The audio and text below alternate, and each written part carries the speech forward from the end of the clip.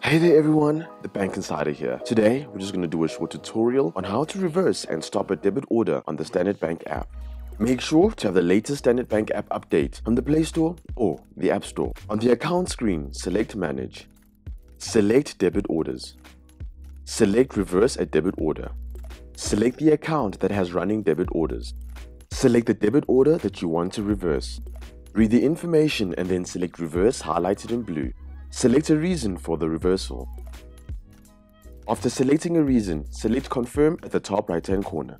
Read the T&C's pop-up notification and then select Accept to proceed.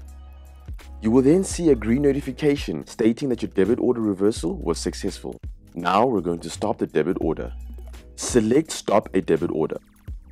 Select the account that has running debit orders.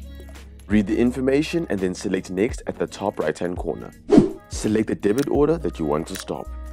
Read the information and then select Stop highlighted in blue. Select a reason to stop the debit order.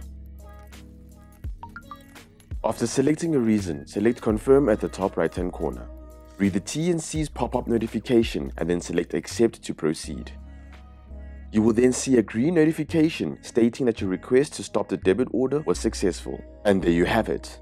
The Bank Insider thanks you for taking the time to view this and hopes that this short tutorial will assist you on how to reverse and stop a debit order on the Standard Bank app. Please hit the like, share and subscribe button and don't forget to hit the notification bell. See you in the next video.